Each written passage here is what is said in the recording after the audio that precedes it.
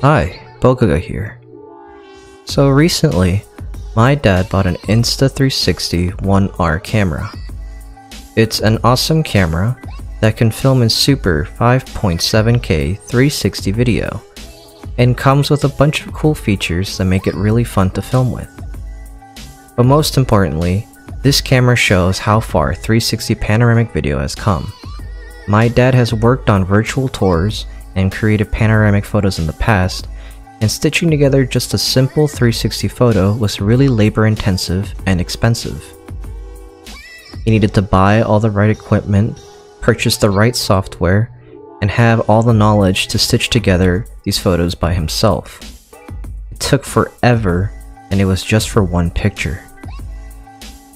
But now, with the Insta360 One R, all you need to do is film using the dual lens, drag the files into Insta360 Studio, which is free, and the program automatically stitches the footage together seamlessly.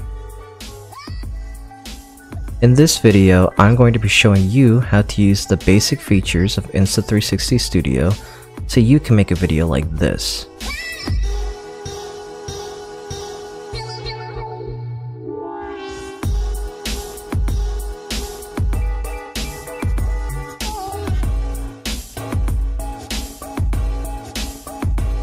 So if you haven't already, make sure to download and install Insta360 Studio from the Insta360 website.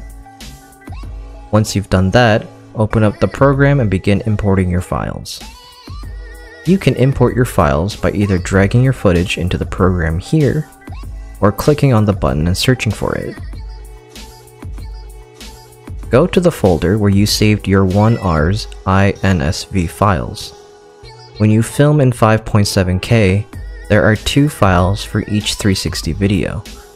One is for the front lens, and one is for the back lens, so never split these files up. When you import one or both of the INSV files into Insta360 Studio, the software will automatically stitch the front and back footage together into a single 360 video. To turn your 360 video into a 2D video, You'll want to switch over to the free capture mode. This will let you edit your footage to your liking. The first thing you need to do is pick an aspect ratio for your video. Make sure you pick the correct aspect ratio for the type of video you want to release. Since I'm going to be putting this video on YouTube, I will stick with the 16 by 9 aspect ratio. Click here to zoom out the timeline so that you can see the entire video clip. The next step is to trim your video to its desired length. This yellow box is your video clip. You can drag the front and back ends of the video around to trim it shorter or to increase the length. The footage I have is around 37 seconds long, and I want to start the video 8 seconds into this clip. I will drag the starting point just before 8 seconds, and then I will drag the end point to just after 35 seconds. Now the duration of this clip is roughly 27 seconds long and it is ready to be edited. The next step is to add keyframes to animate your video. A keyframe is basically a way to tell the software, this is what I want my video to look like at this point in time. Drag the gray line towards the beginning of your video. Hit the keyframe button to create a keyframe. When you create a keyframe, it will present you with a bunch of options. The first option is timestamp. Here you can jump to a precise minute and second of your video. The pan angle turns your video left and right. The tilt angle makes your video go up and down. The roll angle changes the horizontal angle of the video. The field of view zooms in and out and distance changes the look of the video from a sphere to a 2D flat video. The program comes with presets. Here, you can jump to a fisheye view, and it will automatically configure these settings for you. Click here for a tiny planet view, sphere view, or a regular 2D camera view. Another option you have is to use your mouse to drag and adjust the video. You don't have to use the options on the side, but they let you be more precise.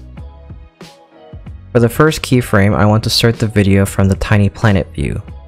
I will click on the Tiny Planet preset and adjust the video using the options on the side. I'm going to zoom out using the FOV to keep all the Tiny Planet in shot. To make the shot a little more interesting, I'm going to zoom in while rotating the shot. I will move the gray line to the 13 second mark and add a keyframe. I will tidy up the timestamp to make sure it is exactly at 13 seconds.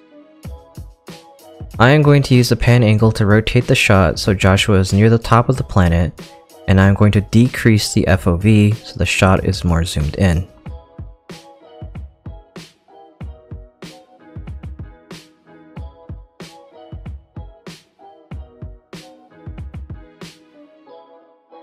The next shot, I want to be on the ground with a fisheye effect.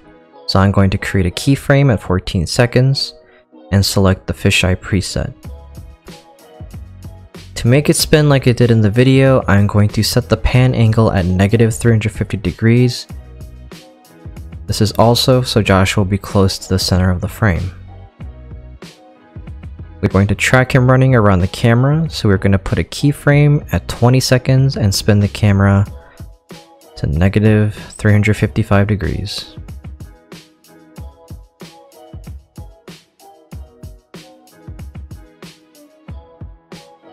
At 21 seconds, I'm going to add another keyframe to zoom out into a tiny planet shot.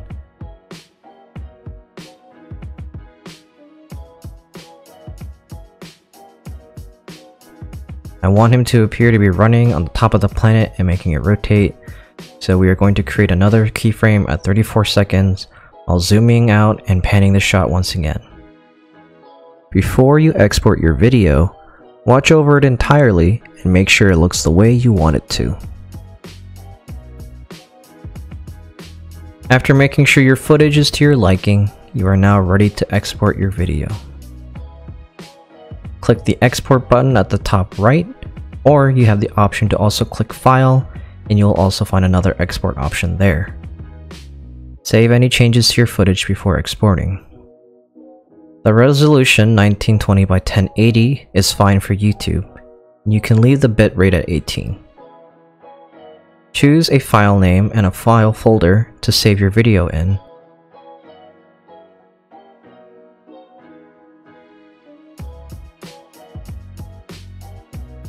Then click OK to start exporting. Once you have finished exporting your video, you can now share it on social media, or you can continue editing your video in your favorite video editor, such as Adobe Premiere. Thank you for watching, and I'll see you next time.